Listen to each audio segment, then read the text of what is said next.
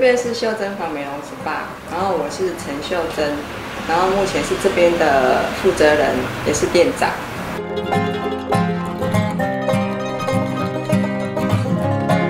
保养的部分来讲，我认为最重要的还是在从头开始。对，从头开始就是你清洁保养，其实是最最主要的。然后再来你完整的课程、完成的套组的部分，其实它也是非常重要的。那如果在没有时间的情况之下，当然就是我们对家里的保养，从头卸洗、去角质，然后化妆水这个部分。然后当有时间的话，来到店里，我们做的就是套组跟课程的部分。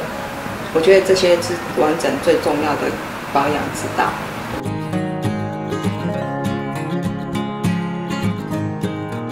最大的影响是，呃，家里在做这个，好，原先是自己的姐姐在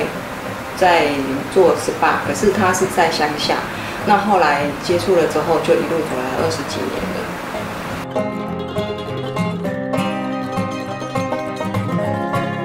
我们的店的理念其实跟一般。的房间呢，其实不一样的地方在于，我们店的店格不在于销售、推广，然后所以说我们把客人诉求的就是很温馨，来到店里就是很安心，然后很放心的交给我们，然后把整个呃产品跟我们想要给客人的小所需要的东西，然后都会把它呈现给。给我们的消费者，其实这个是最重要的，因为来到店里，我们不见得就是一定要以劳售的部分为主，所以我让客人一直觉得说，你来到这边就是放松休息。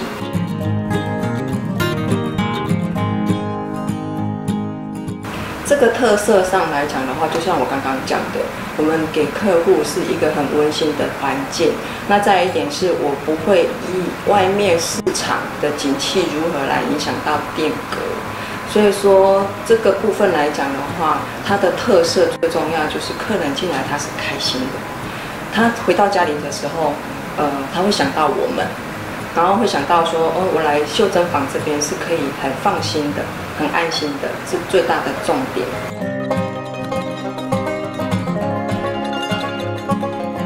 那产品的部分来讲的话，我一直以来都是以 s o p i s 为主，因为完全没有任何的让我。会想把它换掉，所有的产品的结构性来讲的话，我也都没有质疑过。所以说这么多年了，二十几年了，其实我用 s o p i s 的产品大概有三十年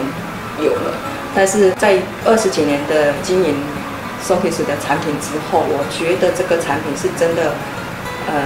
很稳定。然后呢，它在市场上它都有变化，它不会像一。一支商品从头到尾都没有完全的变通，但是我们的主要的法国原厂料其实都有在调整，因应时事、因应社会、因应市场。那所以说给我的客户，我觉得是一个很安心。他从头到尾我都没有发现过产品的品质有什么不同不好，就是有什么变故，或者是说我今天出货来到店里的时候，交给客户的时候，其实它已经是变质了。或者是说哦油水分离了这个部分来讲的话，我我觉得很安心，所以很多的同业都问我说，你为什么还要再用收体式？你怎么现在还在用收体式？那我就跟他说，他哪里不好？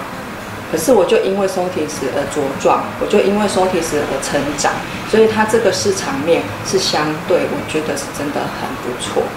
其实它有一个很好的效益，就是我从头到尾都没换过，所以它稳定很够。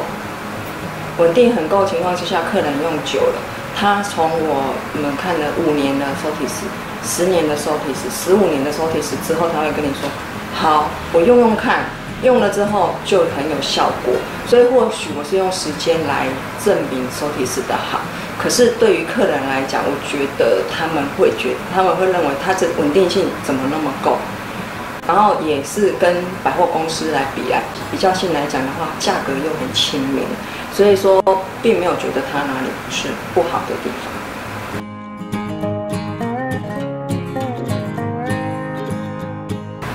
我是比较推荐我们的纤体去角质啊，我们纤体课程的去角质，虽然说体实在身体部分目前比较弱，可是其实我在二十年前接触的时候，它是身体比较强。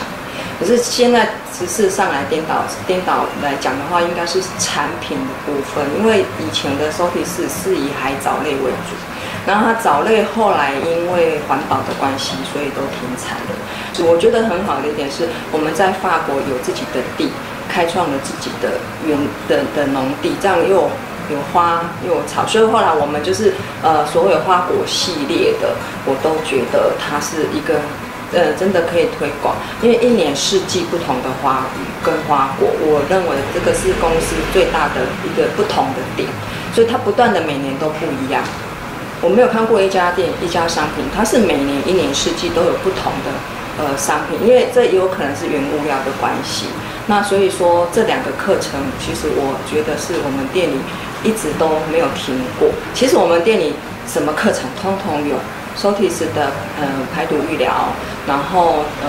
嗯超导水立方，还有刚刚他们有提到的青春，其实这些都有，我们几乎都有做。还有微型提拉，客人都很喜欢，蛮而且每个客人有每个客人他需要的。然后我们都帮他做克制化的需求跟安排。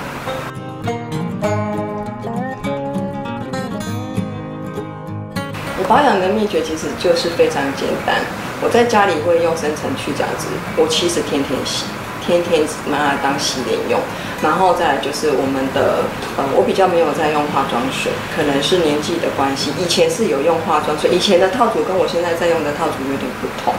那不同的地方在于就是呃年纪，对于我们的皮肤上也会有所改变。所以我目前在用的就比较没有那么的基础，所以现在用的无痕的精华，然后还有我们的奥秘霜，一二八。然后我都一直在用它，因为我重用了它之后停不了。我曾经停过之后，后来又来回来用。我觉得说它没有一样的产品可以让我皮肤呈现光泽。那可能是因为随着年纪，随着我需要提拉、紧实跟光泽度来讲，这一瓶商品其实就是呃整个完整、最完整的一个商一个东西，所以我并没有多擦其他的。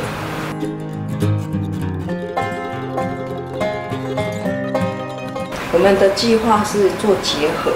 好，比如说一般我们就是护肤跟身体嘛。那护肤跟身体来讲的话，其实在一般散光店其实是很萧条的。那我们应该要做一些复方的调结合，比如说美甲跟彩妆。好，那彩妆的部分，我因为一直以来都在做新密，所以一点一点都没有再停呃呃断过。所以彩妆的部分来讲。这是在我们店里也很基本。那美甲的部分跟美睫的部分慢慢的结合进来，其实以后我们的店格就会完整的复合式的美容 SPA。那我还有结合一些经络，所以我们呃的美疗师、美容师，我们都有考一些整复师的证照。那把这个部分结合进来之后，它会更不一样。因为我们不是要呃跟外面景气哈，跟外面的市场去拼夺，我们只是要给客人他们想要拥有的东西。那这样子再拓展下去的点，那就是非常的稳定，然后没有所谓的就是啊做的好或做得不好，就是一开门我们就是都有客户，所以说我陆陆续续经营的这两三店下来，都是 OK 的。